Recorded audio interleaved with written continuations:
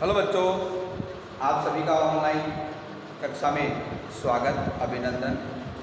कक्षा 10 जो कि हिंदी विषय आप पढ़ रहे थे, और उसमें हमारा टॉपिक चल रहा था, और वो टॉपिक था काल, और काल में आपने पहला काल पढ़ रहे थे, भूतकालिक क्रिया। और भूतकाल में हम उसके जो भेद थे, छह भेद उसको हम पढ़ रहे थे और आपको पूर्व वीडियो में बता दिया गया था कि हमने दो, जो भूतकाल के जो भेद थे हम पढ़ चुके थे। और पहला भूत आपका पहला बिंदु था सामान्य भूत और दूसरा बिंदु आसन्न भूत। अब हम पढ़ रहे हैं तीसरा भूत, जो कि पूर्ण भूत। विद्यार्थियों, पूर्ण भूत की क्या परिभाषा और क्या इसकी पहचान होती है, इसके बारे में हम पढ़ेंगे। तो आप जानिए कि पूर्ण भूत से ज्ञात होता है कि कार्य बहुत पहले पूर्ण हो चुका है। कार्य क्या है? बहुत पहले ही समाप्त हो चुका होता है। कार्य पूरा हो चुका होता है। यूँ इसको समझे कि ज्ञात होता है कि कार्य बहुत पहले पूर्ण हो चुका है। उदाहरण इसके समझे। तो पहला है, व्यास जी ने महाभारत रचा था। अब आपको जब भी महाभारत या रामायण, जो भी हम हमारे जो धर्म ग्रंथ है, उनके बारे में हम पढ़े तो उसके बारे में ये पहचान करनी नहीं आज तो रचा नहीं गया है। ये तो पूर्व में किसी काल में किसी के द्वारा संपादित किया गया था, जो कि पूर्ण हो चुका है। यही तो बात यहाँ लेने गई है कि कार्य पूर्ण हो चुका था। अब ऐसे उदाहरण हो रहे वर्षा न होने से खेती सूख गई थी। हम आज वर्तमान परिप्रेक्ष्य में बात करते हैं पूर्व की घटित घटना का या भूतकालिक क्रिया की, कि लास्ट ईयर कितनी भयंकर बरसात हुई, कि जिससे खेत की जो फ़सल थी वो चौपट हो गई थी तो घटना कब घटी? पूर्व में घटी। तो ऐसे आप इसकी जो पहचान, जो करके उदाहरण के माध्यम से हम समझ सकते हैं। अब उदाहरण में पुलिस के आने से पहले ही लुटेरे भाग चुके थे। पुलिस को सूचना आपने दी, लेकिन लुटेरों को पता चल गया पुलिस आ सकती है तो वो वहाँ से क्या हो जाए? नौ दो ग्यारह हो गए। अब बात आती है कि वो कार्य पूर्ण करके किसी समय विशेष में वो चले गए। ऐसे आप इसको समझ अब इसके अंदर में जैसे विशेष बताई बात था थी थे गए आदि से पहचान करके और वाक्य को समझ सकते हैं कि इस वाक्य में कौन सा काल, की कौन से काल की कौन सी क्रिया किस प्रकार का भेद में प्रयोगित हुई है। तो आपने क्या जाना विद्यार्थियों? पूर्ण भेद के बारे में आपने पढ़ा और पूर्ण भेद जिसमें कोई कार्य किसी समय में पूरा हो चुका था। ये आपकी उदाहरणों के माध्यम से पहचान कर सकते हैं। जैसे कोई और भी उदाहरण ले सकते हैं। महाभारत कौरव और पांडवों के बीच में लड़ा गया था।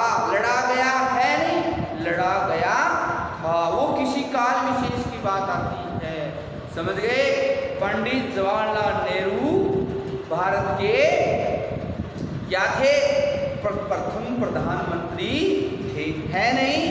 थे। जिसका नाम जिसके साथ जुड़ जाता है तो वो पूर्व की बात के बारे में ज़िक्र होता है तो वो भूतकालिक क्रिया का पूर्ण भेद का पूर्ण रूप होता है।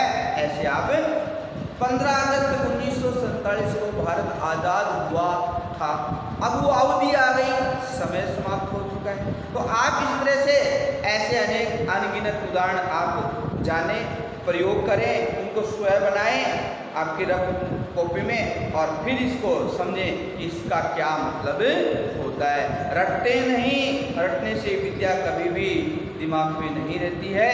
तो ये रटन विद्या बड़े धन के सम्मान मानी जाती है। तो इसीलिए कहा है कि करत करत अभ्यास जड़मती हो तो सुजान, रसरी आवत जात है सिर पर परत निशान। तो ये आप रस्सी से एक सीख लें कि पत्थर जब कितना कठोर होता है, उसके ऊपर रोज नित्य हमेशा आने से वह भी अपने निशान को छोड़ जाते तो आपको नित्य रोज हमेशा इन पढ़ाई को, आपको विषय बार क्या करना है, स्वाध्याय करना है और हमारे द्वारा पढ़ाई क्लास को समझना है।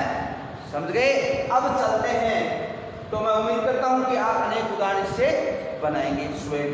अब बात आती है अपूर्ण। पूर्ण के बाद होता है अपूर्ण। एक सिक्के के दो पहलू होते हैं। हम दोनों की बात करते हैं वन बाय वन तो बात आती है अपूर्ण भेद की, अपूर्ण भूत की। तो क्रिया के इस रूप से बोध होता है कि क्रिया के इस रूप से बोध होता है कि काम भूतकाल में हो रहा था कंटिन्यूअसली लगातार यहाँ देखिए, वाकई में मैं आंटीलेट कर रहा हूँ कि हो रहा था कोई काल में कोई क्रिया गतिशील अवधि में कार्य कर रही थी।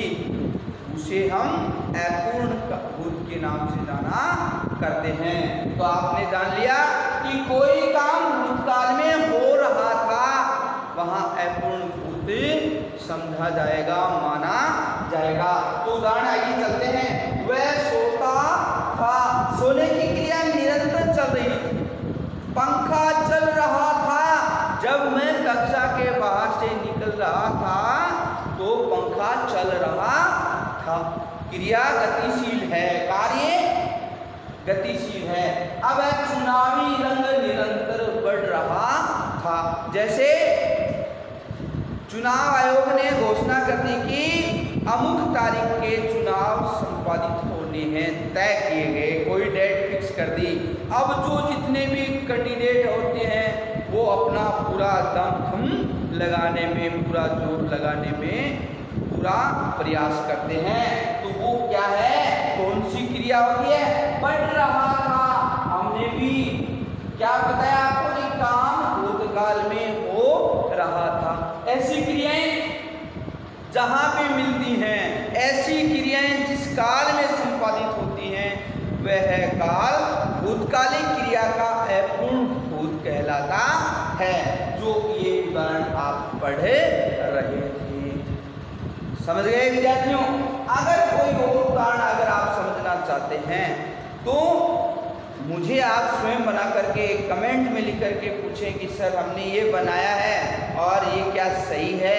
तो हम उसको देख करके आपको समझाएँगे कि आपने सही सटीक आंसर इसका दिया है। तो चलो चलते हैं। अब और भी उदाहरण ऐसे बहुत है, अनगिनत उदाहरण है इन्फिनिटी हम बचपन में पार्क में खेला करते थे।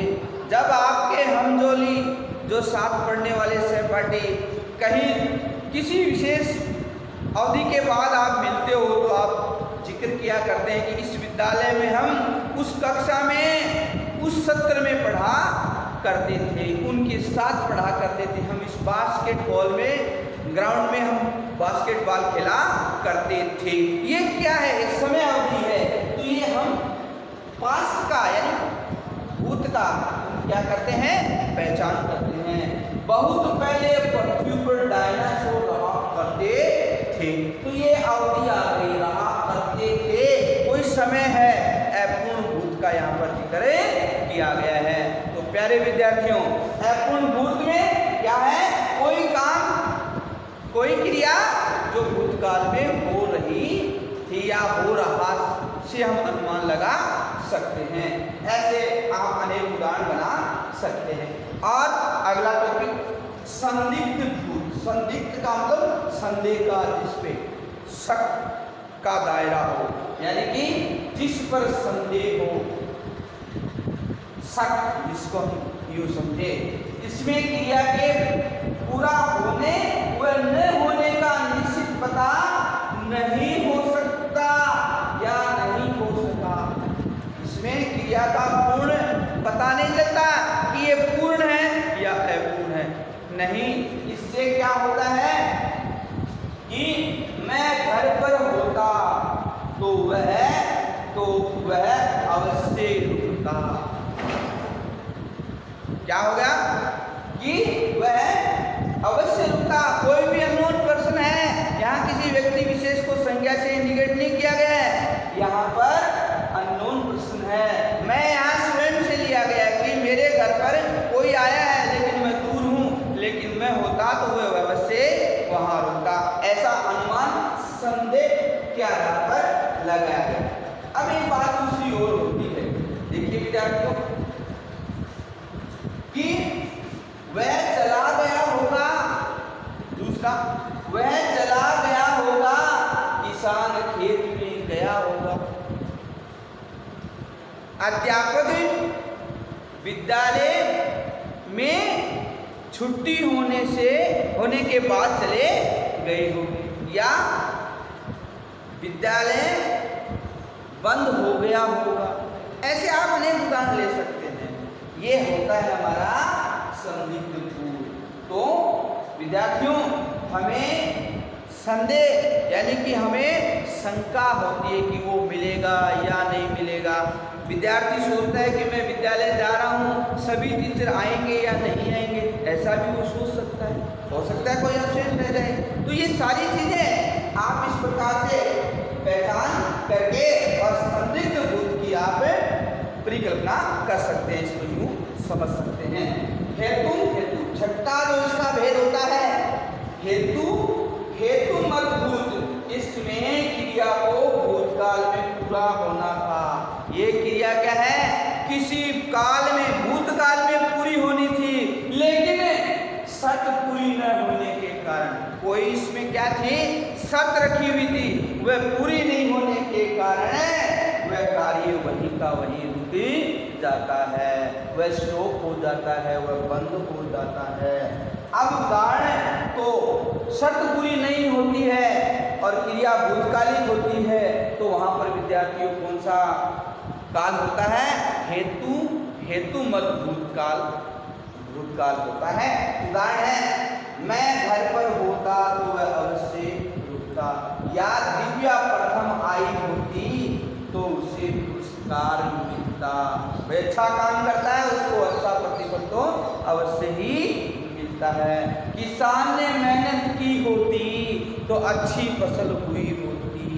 या बरसात अच्छी हुई होती, समय पर हुई होती तो अच्छी फ़सल हुई होती। तो ऐसे अनगिनत उदाहरण विद्यार्थी मेहनत करते तो अच्छे परिणाम आते। ये क्या है? शर्त लगी है। तो शर्त पूरी होती है तो वहाँ पर परिणाम अलग होते हैं। और सत पूरी नहीं होती है तो परिणाम उसके विपरीत होते हैं। तो विद्यार्थियों, हमने भूतकालिक क्रिया के बारे में उसके छह भेद पढ़े। और छहों भेदों को आपको समझाया और आपने बड़े मनोयोग से और लगन उमंग के साथ आपने पढ़ा। मैं उम्मीद करता हूँ कि ये जो भूतकालिक क्रिया के छहों जो दो वीडियो में पूरे हुए हैं, ध्यान रखना, जब नोटबुक में ये होमवर्क कर रहे हो, उस स्थिति में दो वीडियो में आपका भूतकालिक क्रिया के छह बिंदु पूरे हुए हैं। तो मैं समझता हूँ, इसको आप समझें, सुने और फिर नोटबुक में करें। आज के लिए इतना ही। मिलते हैं कल की वीडियो में। धन्यवाद।